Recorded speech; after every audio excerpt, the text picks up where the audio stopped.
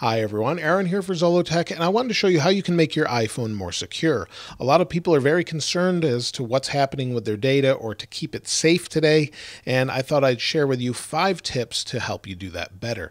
So the first thing is we need to change your passcode, and that's a pretty obvious one, but a lot of people don't realize that you can make it more than just numbers. So if you go into your settings, go down to your Face ID and passcode or Touch ID and passcode, put in your passcode. I just put this one in for the sake of the video. And we go down here and go to change passcode. We'll put in our old one. And then now we have an option down at the bottom that says passcode option. We can make it a custom alphanumeric code, which would be the best one, custom numeric or four digit numeric. We're going to do custom alphanumeric, and you could do something like Zollotech. You could add symbols or numbers, and the more and more difficult, the better. So we've got that one set.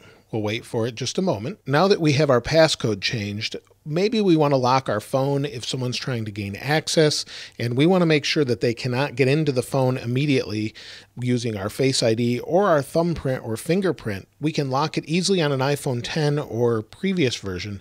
Just hold the power button on everything other than an iPhone 10. On an iPhone 10, hold power and volume up until you get to this screen. Once you do, just hit cancel, and now you're required to put in your passcode before it will unlock. That way, no one can use your thumbprint to unlock it. They need to know that passcode to get in. Now, the next thing to make sure your phone is secure is to make sure that you have Find My iPhone turned on. And you access that by going to your settings again, going to your account here, and under iCloud, if you scroll down, make sure that Find My iPhone is on, and also make sure Send Last Location is on. So, what these will allow you to do is find it on iCloud.com. You can go and view your phone, see exactly where it is, or any of your Apple devices. And also, if this is losing power or going out of signal, it will send its last location before it dies or before it has no signal left, and it lets you know where it last was. The next thing I would consider is to check different applications that are using your phone's data. For example, if you scroll down, go to privacy, and then go to location services. And under this, you'll see all the different applications that are requesting your location service. So take Facebook, for example. I have it set to never. I don't want Facebook to ever be able to access my phone's location. So I have it set to never.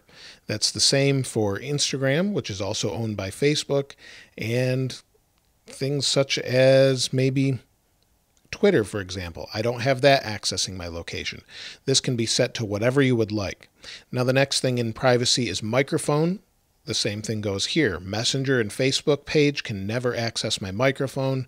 Neither can any of the others that are turned off. I don't need them ever to be able to use my microphone on the phone, and that goes for other applications that I deem not necessary for it to use the microphone. So I have all of those turned off. So check those application by application. You can also scroll down in settings to find things like Facebook and revoke them here. Just check all of those that you may not want to access any of your information. The last tip I have for you is to turn on two factor authentication. That puts an extra layer of protection on top of the password you already have. So maybe you're logging into iCloud.com to find your phone. It will prompt you and send you a text message or send you through a backup code the information that you need to log in. Only you can get in. Now, you find that by going into Settings, tapping on your name, then you're going to tap on Password and Security. Under Password and Security, once you have two factor authentication turned on, you'll list the phone number you want it to authenticate with and also put Get Verification Code. If you don't have the phone number access, and you also want to get some recovery keys to make sure that you can log in if you don't have access to a device that's using it. So those are tips to help you lock down and secure your phone. Hopefully that helps you. And if you have any others, let us know in the comments below. If you haven't subscribed already, please subscribe and like. As always, thanks for watching. This is Aaron. I'll see you next time.